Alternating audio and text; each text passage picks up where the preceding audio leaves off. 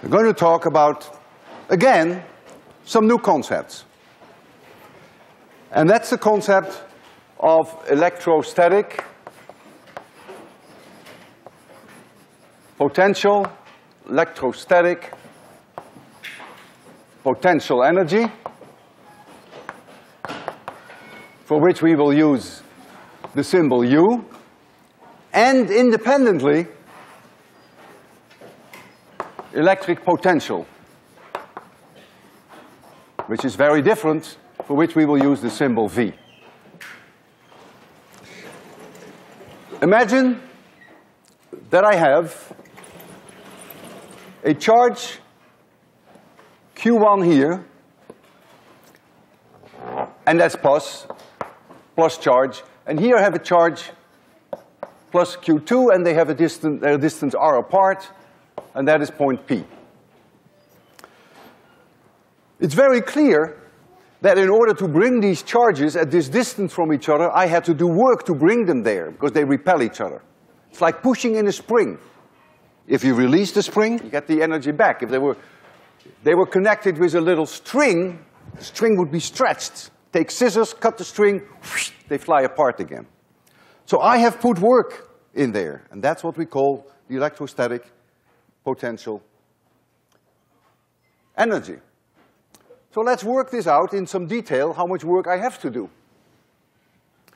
Well, we first put Q1 here. If space is empty, this doesn't take any work to place Q1 here. But now I come from very far away, we always think of it as infinitely far away. Of course, that's a little bit of exaggeration. And we bring this charge Q2 from infinity to that point P. And I, Walter Lewin, have to do work. I have to push and push and push. And the closer I get, the harder I have to push, and finally I reach that point P. Suppose I am here, and this separation is little r. So I've reached that point. Then the force on me, the electric force is outward. And so I have to overcome that force. And so my force, F Walter Lewin, is in this direction. And so you can see I do positive work. The force and the direction in which I'm moving are in the same direction, I do positive work. Now, the work that I do can be calculated. The work that Walter Lewin is doing in going all the way from infinity to that location P is the integral going from infinity to radius r of the force of Walter Lewin dot dr. But of course, that work is exactly the same either one is fine, to take the electric force in going from R to infinity dot dr. Because the force, the electric force and Walter Lewin's force are the same in magnitude, but opposite direction. And so by flipping over, going from infinity to R, to R to infinity, this is the same. This is one and the same thing.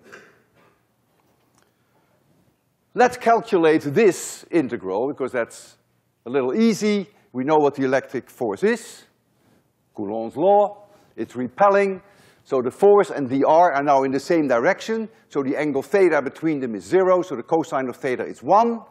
So we can forget about all the vectors. And so we would get then that this equals Q1, Q2, divided by four pi epsilon zero. And now I have downstairs here an r squared, and so I have the integral now dr divided by r squared from capital R to infinity. And this integral is minus one over r, which I have to evaluate between r and infinity. And when I do that, that becomes plus one over capital R. Right? The integral of dr over r squared, I'm sure you can all do that, is minus one over r. I evaluate it between r and infinity, and so you get plus one over r. And so U, which is the energy that, the work that I have to do to bring this charge at that position, that U is now Q1 times Q2 divided by four pi epsilon zero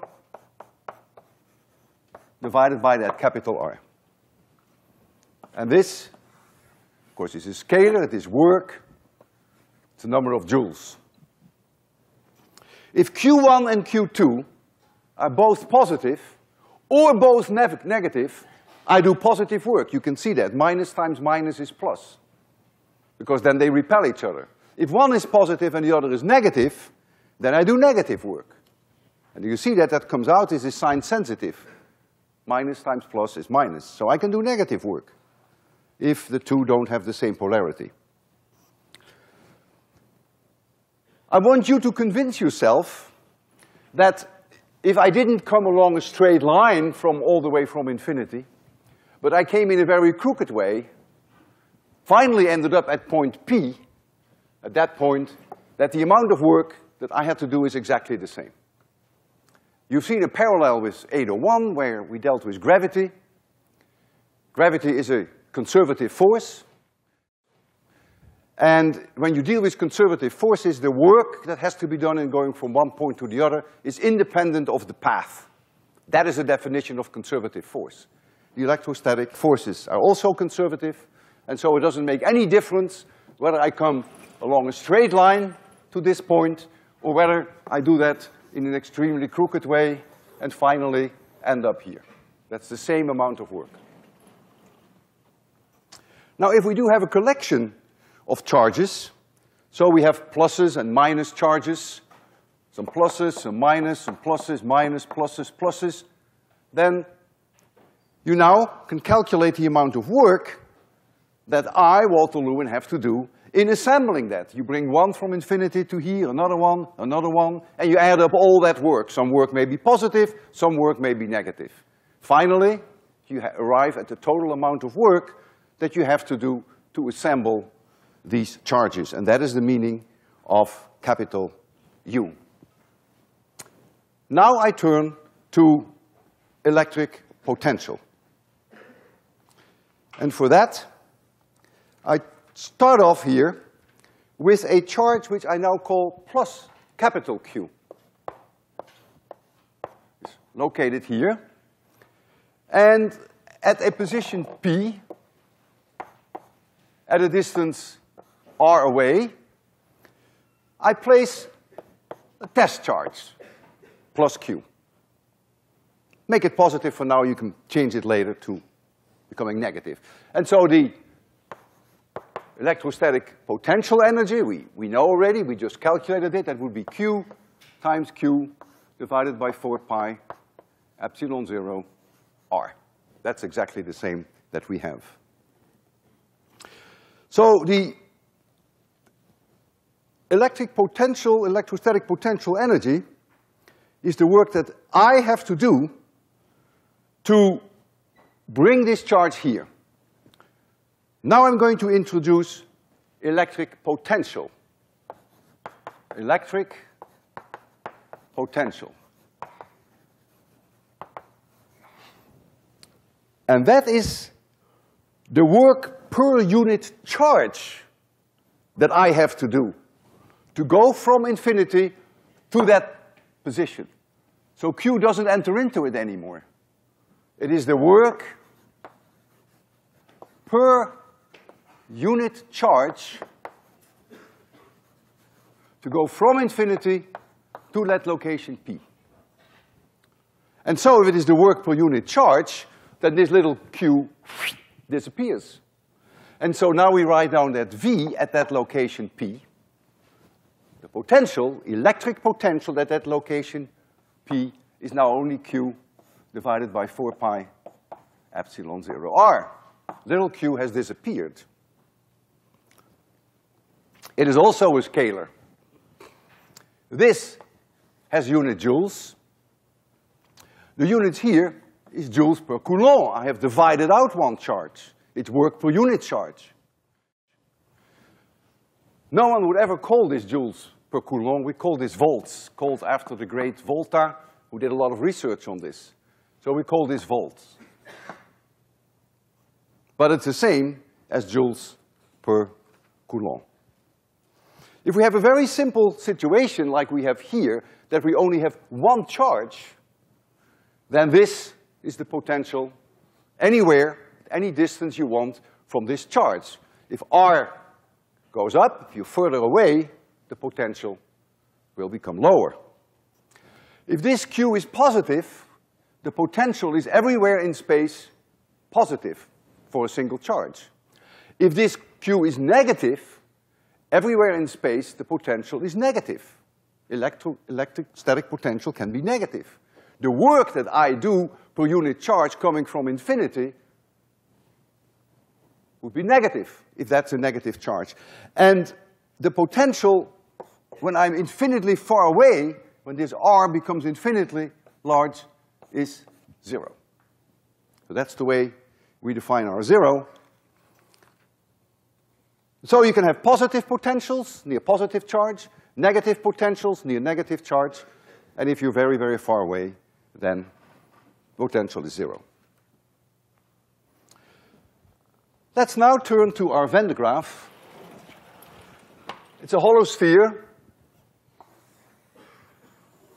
has a radius r,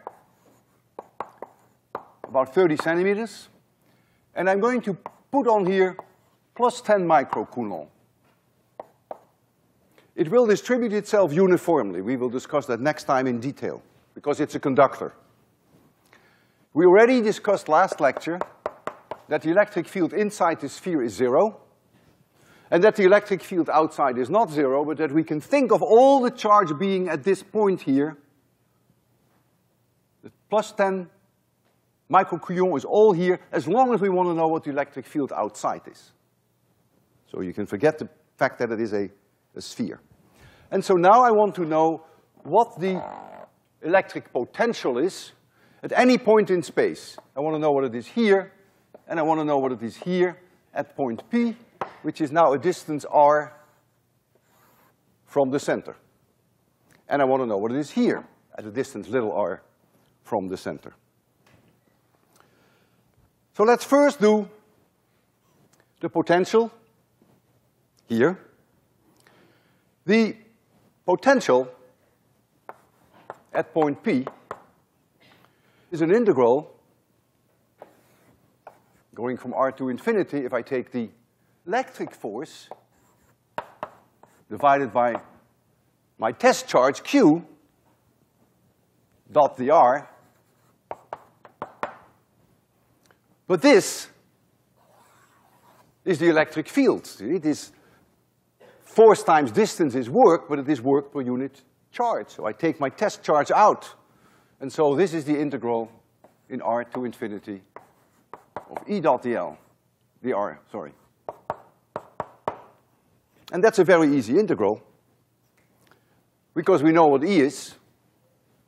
The electric field, we've done several times, follows immediately from Coulomb's law, and so when you calculate this integral, you get Q divided by four pi epsilon zero r, which is no surprise because we already had that for a point charge. So this is the situation if r, little r, is larger than capital R.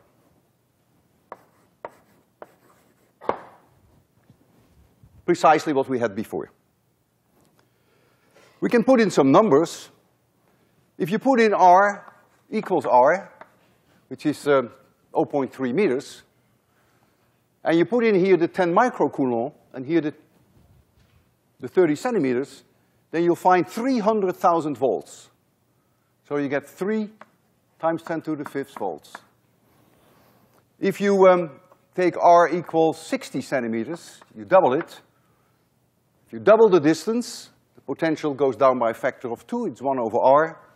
So it would be 150 kilovolts.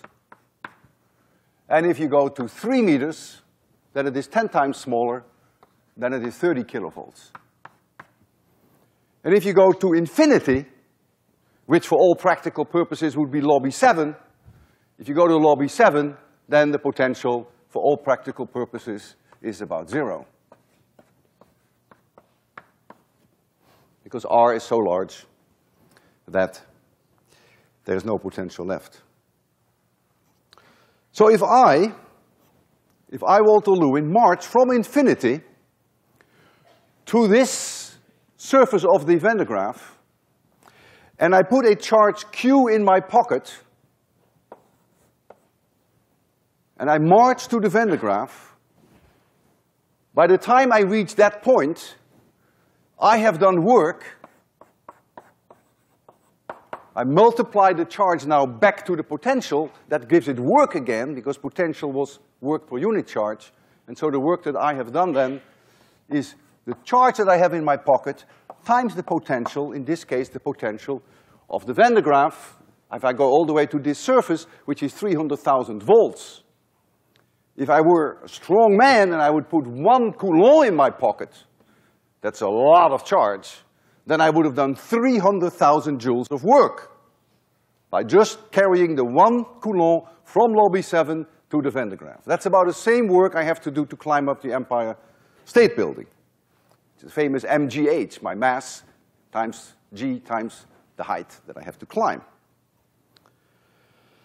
So, I know how the electric potential goes with distance, it's a one over r relationship. Now I have arrived at the Van de Graaff, I am at the surface with my test charge, and now I go inside. And I slosh around inside, I feel no force anymore. There is no electric field inside. So as I move around inside, I experience no force. That means I do no work. So that means that the potential must remain constant. So the absence of an electric field here implies that the electric potential everywhere is exactly the same. Inside is the same as on the sphere, because no further work is needed in marching around with a test charge. And so for this special case, I could make a graph of the electric potential versus R, and this is then the radius of the Van de Graaff, and that would be a constant all the way up to this point, and then it would fall off as one over R here. And in, for the numbers that we have chosen, the potential at the maximum here would be 300,000 volts. Just as when you look at maps, where you see contours of equal height of mountains, which we call equal altitudes, here we have surfaces of equipotential. And if you had a point charge, or if you had the Van de Graaff, these surfaces would be concentric spheres. The further out you go, if the charge is positive, the lower the potential would be. They would be nicely spherical surfaces. Suppose now we had more than one charge. We had a plus Q1 charge, and we had a minus Q2 charge, for instance. And you're being asked now, what is the potential at point P? Well, now the electric potential at point P Vp, is the potential that you would have measured if Q1 had been there alone. And you have to add the potential that you would have seen if Q2 had been there alone. Just adding work per unit charge for one with work per unit charge of the other. And if this is negative, then this quantity is negative, and this is positive. So when you have configurations of positive and negative charges, then of course, depending upon where you are in space, if you're close to the plus charge, the potential is almost certainly positive, because the one over R is huge. If you're very close to the negative charge, again, the one over R of this little charge will dominate, and so you get a negative potential. And so you have surfaces of positive potential, and you have equipotential surfaces of negative potentials, and so there are surfaces which have zero potential. And they're not always very easy to envision. But what I want to show you is some work that Maxwell himself did in figuring out these equipotentials. And so I have here a transparency of publication by Maxwell. You see a charge, let's assume it is plus four and plus one, it could be minus four and minus one, but let's assume they're plus. And you see the green lines, which we've seen before, which are the field lines. Don't pay any attention to the green field lines now. The red lines are equipotentials, and you have to rotate them about the vertical because they are, of course, surfaces. This is three-dimensional. I have not drawn all the equipotential surfaces in red because they become too cluttered here. But I've tried to put most of them in red. Since this charge is positive and that charge is positive, everywhere in space, no matter where you are, the potential has to be positive. There is not a single point where it could be negative. If you are very far away from the plus four and the plus one, then you expect that the equipotential surfaces are spheres because it's almost as if you were looking at a plus five charge. So it doesn't surprise you that when you go far out, that you ultimately get spherical shapes. When you're very close to the plus four, they are perfect spheres. When you're very close to the plus one, they are perfect spheres. But then when you're sort of in between, neither close to the plus four nor to the plus one, they have this very funny shape. It reminds me the shape of this balloon a little bit. Sort of like this. You see? And there is one surface which is most unusual, equipotential surface, which here has a point where the electric field is zero. It's sort of like twisting the neck of a goose. You get something like this. And so you have here a surface which has a point here, and it is exactly at that point where the electric field is zero. That does not mean that the potential is zero. Of course not. The potential is positive here. If you come with a positive charge from the lobby seven and you have to march up to that point, you have to do positive work. You have to overcome both the repelling force from the plus four and the repelling force from the plus one. But finally, when you reach that point, you can rest because there is no force on you at that point. That's what it means that the electric field is zero. It does not mean that you haven't done any work. So never confuse electric fields with potentials. I want to draw your attention to the fact that the green lines, the field lines, are everywhere perpendicular to the equipotentials. I will get back to that during my next lecture. That is not an accident. That is always the case. Now, Maxwell shows you something that is a little bit more complicated. Here, he calculated for us the equipotential surfaces. The red ones are the surfaces. Again, you have to rotate them about the vertical to make it three-dimensional. And now we have a minus one charge and a plus four. And so whenever it is red, the surface, the potential is positive, and whenever I have drawn it blue, the potential is negative. First, if we were very far away from both the plus four and the minus one, you expect to be looking at a charge which is effectively plus three. And so if you go very far away, for sure, the potential is everywhere positive, and you expect them to be spherical again. If you look here, you're very far away from the plus four and the minus one. Indeed, this has already the shape of a sphere. So that's clear, that the plus four and the minus one far away behave like a plus three. If you're very close to the plus four, you get nice spheres around the plus four, positive potential. If you're very close to the minus one, notice that the blue surfaces are almost nice spheres, but now they're all negative, because you're very close to the minus one. So a negative potential. There is here one surface which now has zero potential. It has to be, because if you're negative potential close to the minus one and you have positive potential very far out, you gotta go through a surface where it's zero. And so there is here a surface, I still have put it in blue, which is actually everywhere on this surface, the potential is zero. Is the electric field zero there? Absolutely not. Electric field should not be confused with potential. What it means is that if you take a test charge in your pocket and you come from infinity and you walk to that surface, that by the time you have reached that surface, you've done zero work. That's what it means. That's the potential is zero. There is here one point, which we discussed earlier in my lectures, where the electric field is zero. The potential is not zero there. The potential is definitely positive here. Because here was the zero surface. Here is already positive surface, and this is a positive surface, so the potential is positive. However, if you reach that point, there's no force on your charge. So that means electric field is zero. It is not so easy, of course, to calculate these surfaces. Maxwell was capable of doing that 110 years ago, and nowadays we can do that very easily with computers.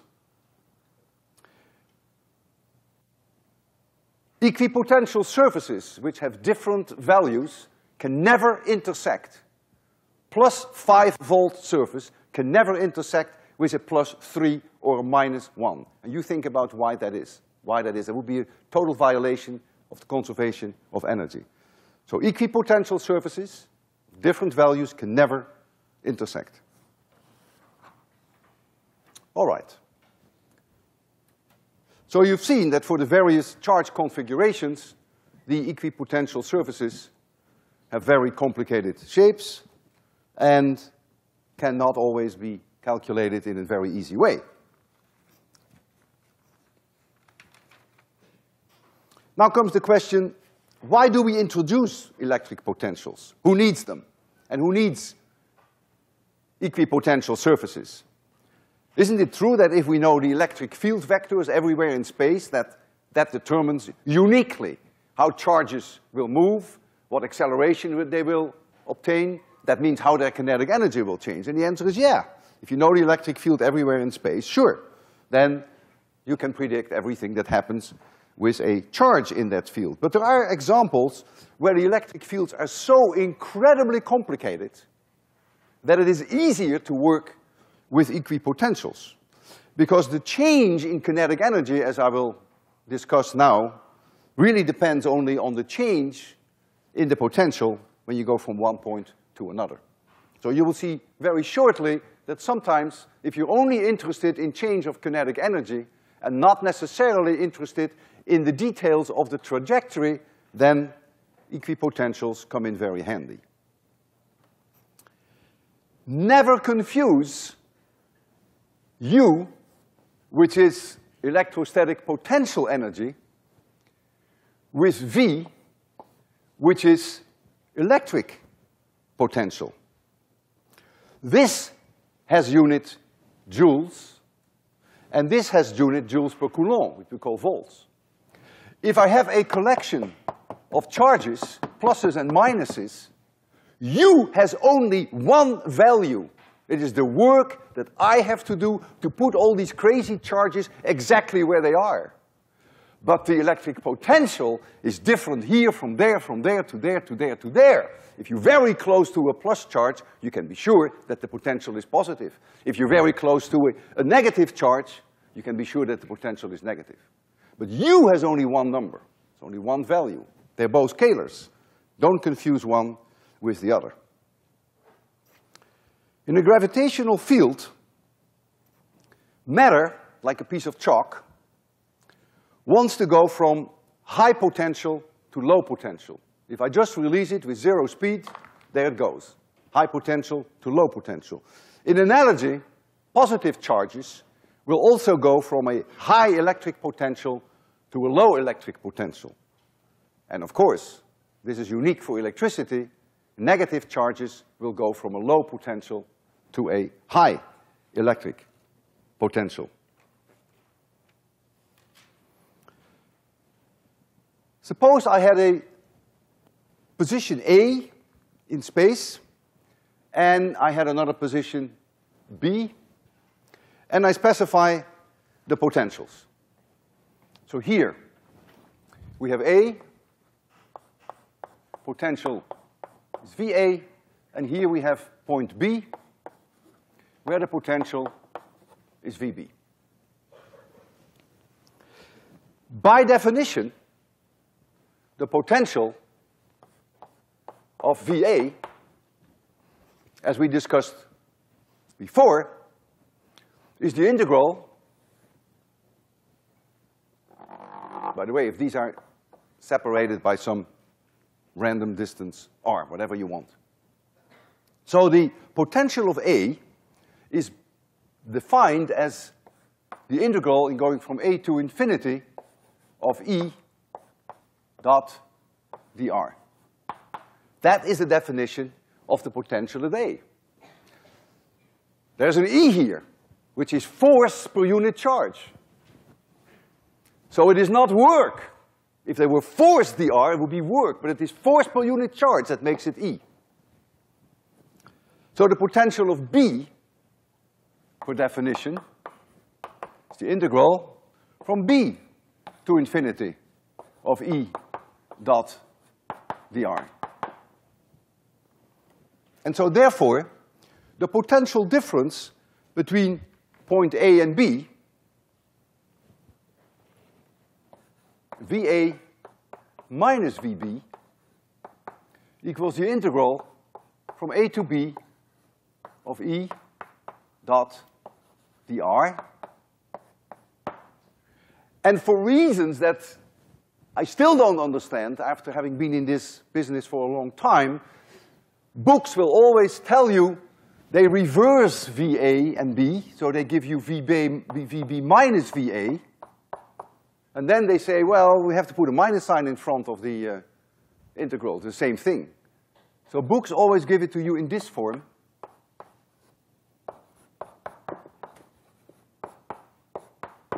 But it is exactly the same. Hope you realize that. This is the two equations that I have here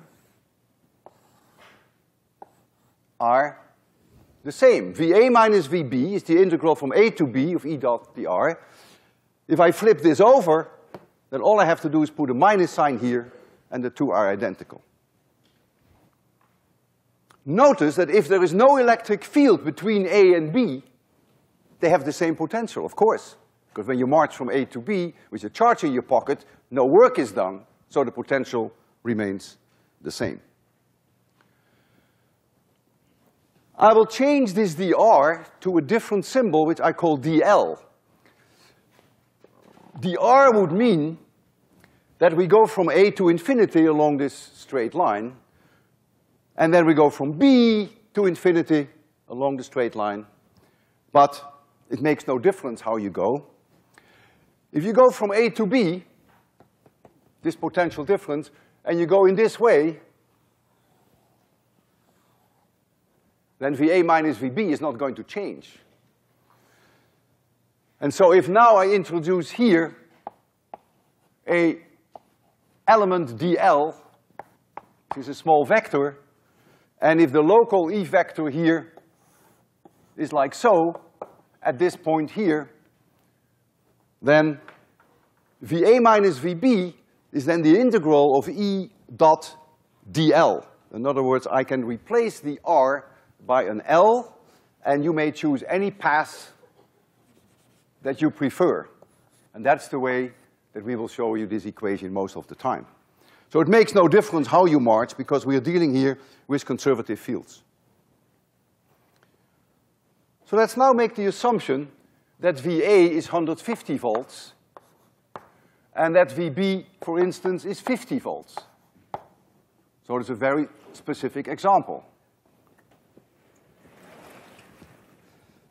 What does it mean now? It means that if I put plus Q charge in my pocket, and I come all the way from lobby seven, and I walk up to point B. So Walter Lewin, plus Q charge in his pocket, goes from lobby seven to point B. I have to do work, and the work I have to do is the product of my charge Q with the potential. So that is Q, the work I have to do is Q times VB. So in this case, it's 50 times Q, whatever that charge is that I have in my pocket. This is in joules. Now, I go from lobby seven to point A. I have to do more work. I have to do 150 Q joules of work. You can think of it, I first come to B, I'm already exhausted, I have to put in another work to get all the way to point A. So you can imagine if I have this plus Q charge at point A, where it is at a higher potential, it wants to go back all by itself to B. It wants to go from a higher potential to a lower potential. Look, the E vector is in this direction. Positive charge will go to a lower potential. And as it moves from A to B, energy is released. How much energy? Well, this is the amount of work I have done to get to A, this is the amount of work I did to get to B, and so if now the charge goes back from A to B, it's the difference that becomes available in terms of kinetic energy. It's a change in potential energy. And that change in potential energy, so the change in potential energy, when the plus Q charge goes from A to B, that change is Q times VA minus VB. QVB at point B and QVA at point A. So this is the potential energy that is in principle available if the charge moves from A to B. And you remember from 801, the work energy theorem. If we deal with conservative forces, then the sum of potential energy and kinetic energy of an object is the same. That's also true for gravitational forces.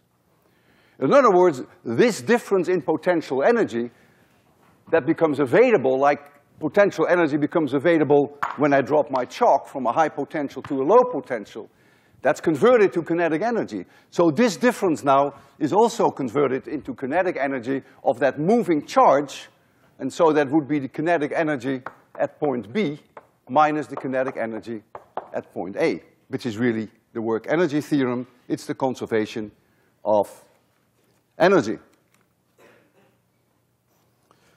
Now, any piece of metal, no matter how crummy or dented it is, is an equipotential, as long as there is no charge moving inside the metal. And that's obvious that it's an equipotential.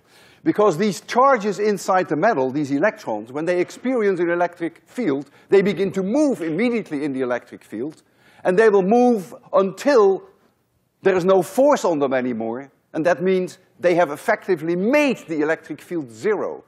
So charges inside a conductor always move automatically in such a way that they kill the electric field inside. If the electric field hadn't been zero yet, they would still be moving. And so each metal that you have, no matter where you bring it, as long as there are no electric currents inside, will always be an equipotential. So I can take a trash can and bring it into an external field, and then very shortly after I've brought it in, when things have calmed down, the trash can will be an equipotential, and the electric field inside the metal will everywhere, will everywhere be zero. So, I could, for instance, attach point A to a trash can, metal trash can. So the whole trash can would be at 150 volts, and I could put point B, make it part of my, of my soda, which is also made of metal. And so the whole soda would be at 50 volts, and the entire trash can would be at 150 volts. I place the whole thing in vacuum, and now I release an electron at point B. An electron. Electron wants to go to higher potential. A proton would go from A to B, electron wants to go from B to A.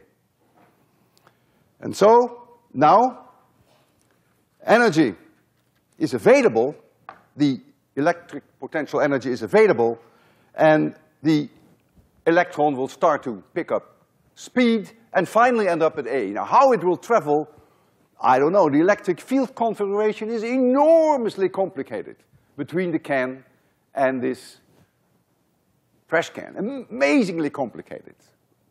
If you were to see the field lines, it would be weird. But if we, all we want to know is what the kinetic energy is, what the speed is with which this electron reaches the can, so what? Then we can use the work energy theorem and find out immediately what that kinetic energy is. Because the available potential energy is the charge of the electron times the potential difference between these two objects. Well, the charge of the electron is 1.6 times 10 to the minus 19 Coulomb. The potential difference is 100 volts, and that is the difference in kinetic energy. If I assume that I release the electron at zero speed, then I have immediately the kinetic energy that it has at point A, which is one half m of the electron times the speed at a squared. So now you see that accepting the fact that we know the equipotentials, we can very quickly calculate the kinetic energy and therefore the speed of the electron as they arrive at A without any knowledge of the complicated electric field.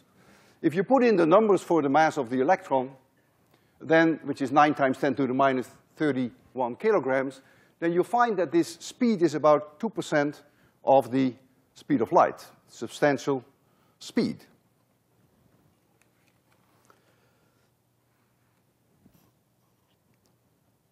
All our potentials, electric potentials, are defined relative to infinity. That means at infinity, they are zero. That is because of the one over R relationship. That's very nice and dandy, and it works. However, there are situations whereby it really doesn't matter where you think of your zero. You remember with gravity, we had a similar situation.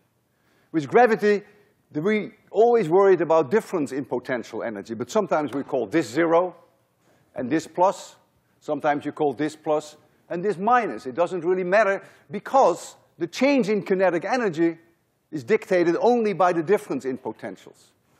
So it is very nice and dandy to call that 150 and to call that 50, but you wouldn't have find any different answer for the electron if you call this potential 100 volts and you call this one zero, or you call this one zero and this one minus 100, or you call this one 50 and this one minus 50. So the behavior of the electrons, of the charges, would of course not change. And of course, electrical engineers would always, per definition, call the potential of the Earth zero when they built their circuits. So now I would like to demonstrate to you with the Van de Graaff that if you get a strong electric field from the radially outwards from the Van de Graaff, that you get a huge potential difference between this point here and this point there. Uh, if I have my numbers still there, I hope I do,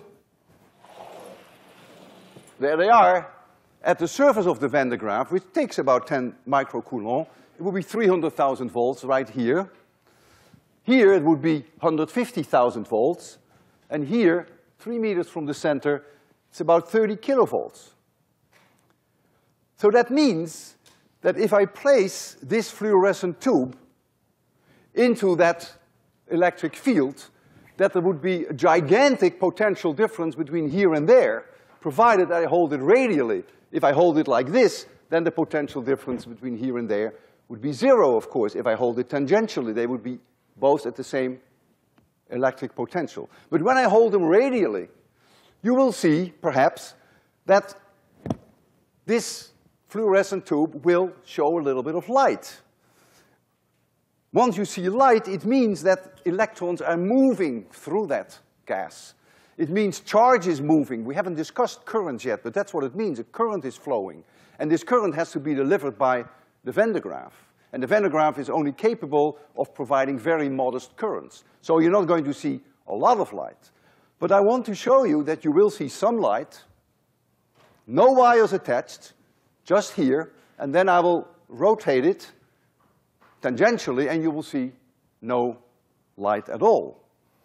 So if we can make it a little darker as a start, and I'll start the Van de Graaff, and then if Marcos comes to make it completely dark when necessary, because the light is so little that we really have to make it completely dark, I will put on a glove for safety reasons, although I don't think it will do me much good. Notice I have here a piece of glass to, well, to be well insulated from the glass so that I don't mess up the demonstration by, if I hold my fingers here, it will be very different than holding my hands here. So let's go first close without, with the light still on, and then, okay, why don't you turn the lights off now, all the way off. Okay, I, I think you can see a glow. It's radially outwards now. And Marcos, can you give a little light? Okay, I will now go tangential. Can you turn uh, the lights off? And now you see nothing, very little. And now I go radial again. And there you go. Now, if I, if I'm crazy, if I were crazy, then I would touch the end of this tube with my finger, thereby allowing this current to go straight through my body to the earth, which may increase the light. Let me try that. So, so I'm going to touch the, the, the, this, this fluorescent tube on your right side. Ah. Ah. Ah. Every time I, I touch it, ah! but that's not ah. But you see, every time I touch it, I make it easier for the current to flow, and you see very clearly that it lights up. Now I want to do the same demonstration with a neon flash tube.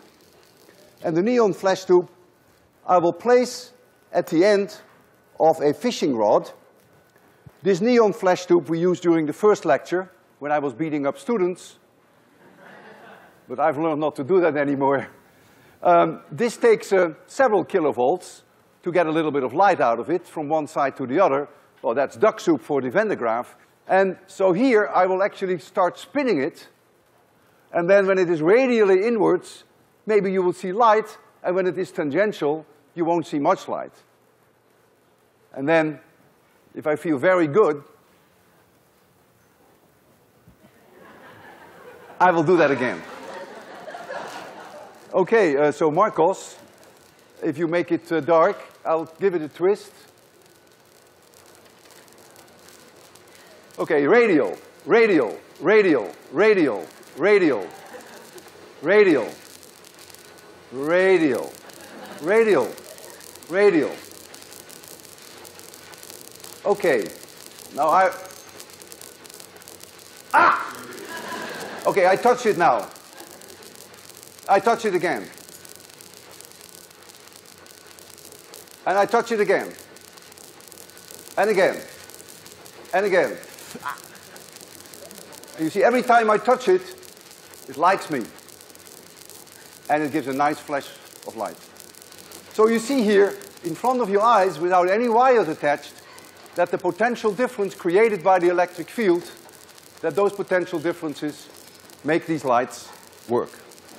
All right, see you Friday.